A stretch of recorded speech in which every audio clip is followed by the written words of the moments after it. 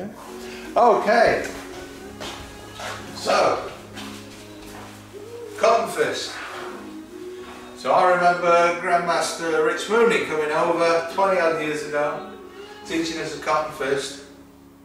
Alright, I got it wrong. So now I might got it right. But also what we want to do, rather than have the handle cottony, loose, we want it tight so there's less, in, less injury, but we still want the energy transfer. We still want the bang for the bucks, but we don't want a soft hand. If you're in a fight, you're not going to go, soft hand, soft hand, cotton, no, you're just going to bang, you're going to chin the guy. So we want to be able to do that, but get the energy transfer.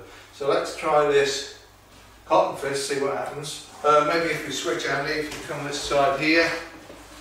That's all good. So, Normal, traditional, comedy, rubbish fist. Nothing. All good? Mm -hmm. Okay. So I'm going to put a little wave in there. Rubbish. So Andy's rooted, he's resistant, he's not disrupting. Most people, I don't know, big angry guy on drugs, probably be just like, are you on drugs, Andy? No, he's not. And he's not that big, but he's got, you know, he can rock and roll. So we want to try this cotton fist malarkey. So we're there. There it is. There. Unbelievable! now this is my cotton fist that I thought what it was. Was that me? Or are you no, still, you still broke? Yeah, was just, no. Okay, let's try. Let me try Ruby's fist. Ruby's fist. You're still broken. Yeah. You're completely broken. Yeah. We broke Andy with a cotton fist. Excellent. Oh, I'm well happy with that. that. That's a brand new one as well. So now we've got to fix him before I can try my cotton fix. fix, fix cotton fist. So let's just try, do a, try and do a quick fix.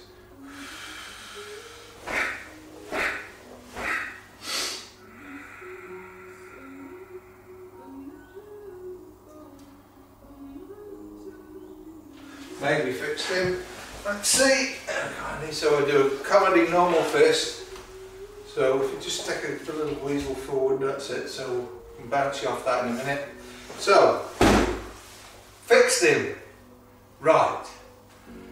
My cotton fist. The old my cotton fist.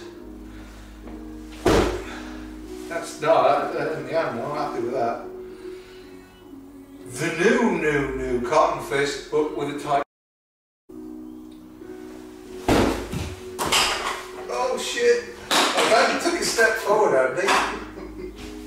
so, I can do a tight cotton fist, apparently, and mess Andy up. We're now going to find a cure for that in the form of fixing. Thank you very much.